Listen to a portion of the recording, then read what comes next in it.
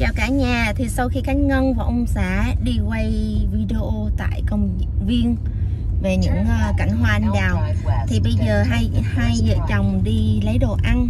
Thì mong rằng những video của Khánh Ngân Đài An Nhiên TV sẽ luôn được sự ủng hộ và đồng hành và luôn theo dõi của quý khán giả trên khắp mọi nơi nhé Khánh Ngân luôn chúc sức khỏe bình an luôn đến với mọi người mọi nhà.